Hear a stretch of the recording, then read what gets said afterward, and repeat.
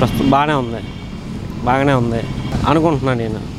బాగా చేస్తారని అందుకనే ఆయన్ని కొంచెం తీసుకున్నాను అనమాట ఆయన ఇదిగా తీసుకున్నాను అనమాట ఆయన తండ్రి కంటే ఈయన బాగా చేస్తాడని. అదే. డెవలప్మెంట్ అవుతుంది అయింది డెవలప్ చేయాలని ఆయన ఆయనకి ఓటేసి గెలిపించింది. ప్రజల కోసమే. ఆయన కొంచెం ప్ర- ప్రజల కోసమే సీఎం అయ్యాడు. అందుకని ఆయన కొంచెం పరిపాలన తీసుకుని చూస్తాం యావరేజ్గా ఉంది. అదే అనుకున్నంతగా అనుకున్నంతగా లేదు.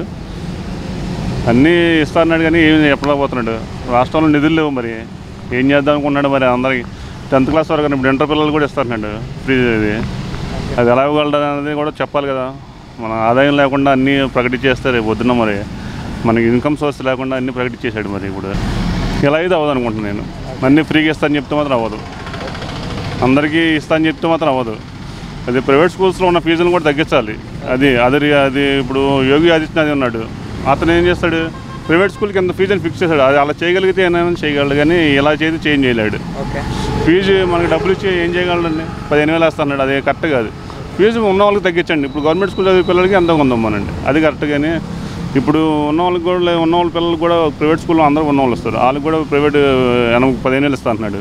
ఎలా ఇవ్వగలడు ఇప్పుడు అది కాకుండా మళ్ళీ ఇంటర్ పిల్లలకి ఇస్తాను. వాళ్ళ నాన్నగారికి మరి నివాళి అర్పిస్తానని చెప్పి ఇస్తా అన్నాడు కదా. ఓకే. దాన్ని మనం ఏం చేయలేము కదా ఆయన ఇష్టం అది ఇక. Okay sir. ఆయన గవర్నమెంట్ ఆయన ఇష్టం అది.